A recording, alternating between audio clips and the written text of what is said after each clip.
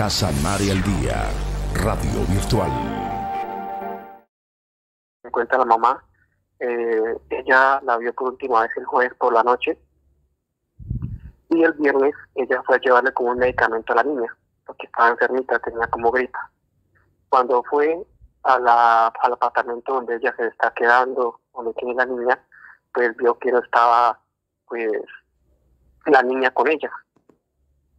Y pues ella suponiendo que de pronto estaba en algún lado, de pronto estaba en el hospital o algo así, pero no fue así.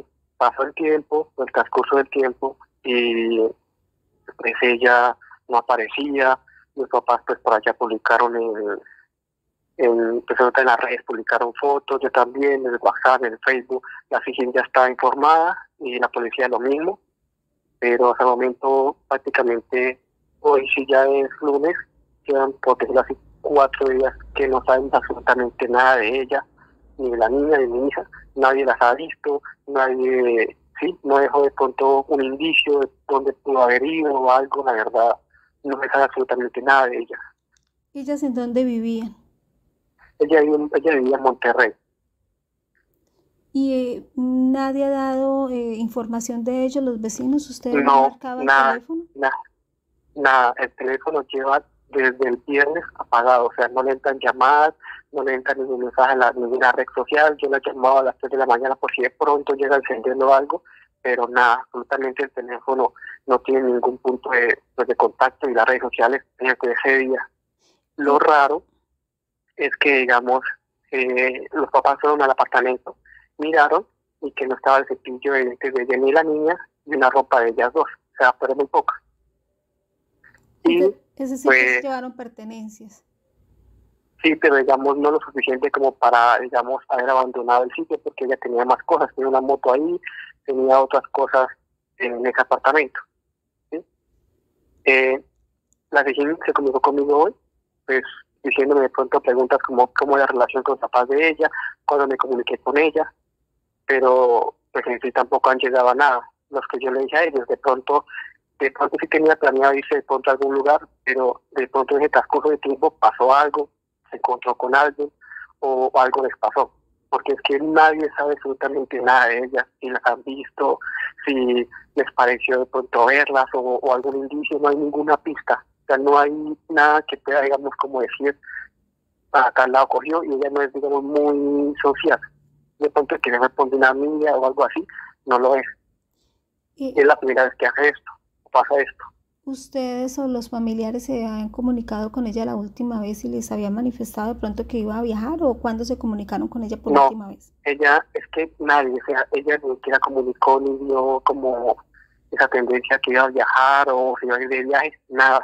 Según lo que yo logro, digamos, ver o la lógica, es que ella el viernes, en la pura mañana, digamos, muy temprano, porque los papás fueron en la mañana, pues allá el medicamento a la niña, cogió eso, se fue a, no sé para dónde la verdad, porque ya fueron a los terminales, fueron a ver si habían cámaras, pero no tienen registro, no es la misma eh, pero nadie da razón de ella. Nadie dice, sí, me pareció verla, o sí, se montaron al bus o algo. Nadie da razón de ella. Y la siguiente pues quieren esperar hasta mañana, o sea, hoy, lunes, a ver si de pronto aparece, si ya con indicio, de pronto estaba de viaje, pero siendo así, ya habiendo pasado hoy, ya como que eso pasa a otra fase, porque no se sabe nada, no ha llamado a nadie, ni a los papás, ni a mí, ni a algún familiar, no saben dónde está.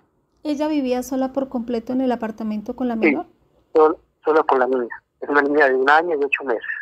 ¿No tenía de pronto relación cercana con otra persona o, o Que yo sepa, no. El papá tampoco.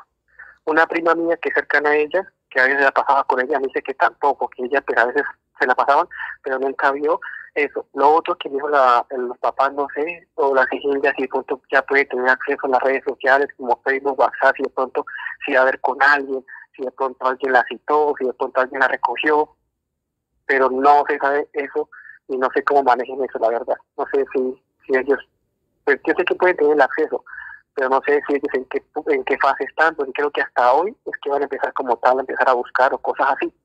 Ya en la prensa, digamos, en Monterrey ya se publicó la foto y ya está difundida en cierta parte.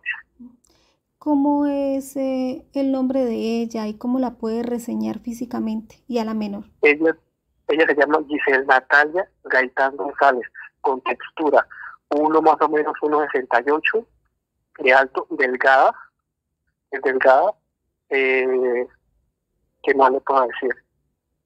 En, ¿Ella en dónde laboraba? ella tenía, ella estaba emprendiendo un negocio ahí mismo donde tenía la casa o el apartamento.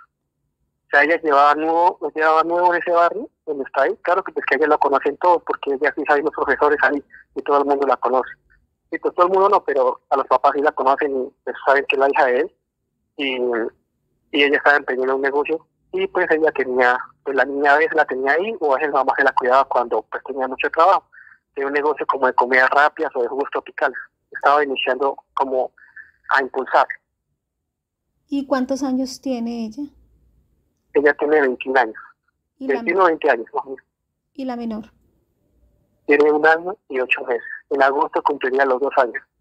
¿Alguna seña especial de pronto en su rostro o algún lunar, algo que de pronto la gente lo pueda identificar fácil, de pronto a simple vista?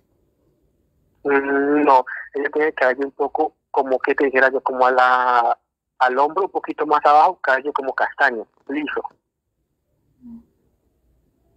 Eh, ¿Qué le han dicho las autoridades que deben de La presentar? Sisi, Ujú. la me llamó hoy en la tarde.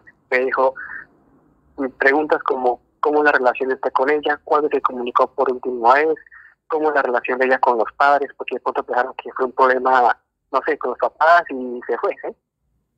Pero eh, se, digamos, escatima esa opción porque no ha aparecido. O sea, de pronto sí tuvo algún problema, un roce, tuvo un momento de rabia y se fue con la niña. Pero nada, lo otro que estamos mirando es que yo sería pues, le, envié la manutención de la niña y el papá le dio una plata para pagar el arriendo. O sea, por lo menos sería para ir unos 700, 600 mil pesos.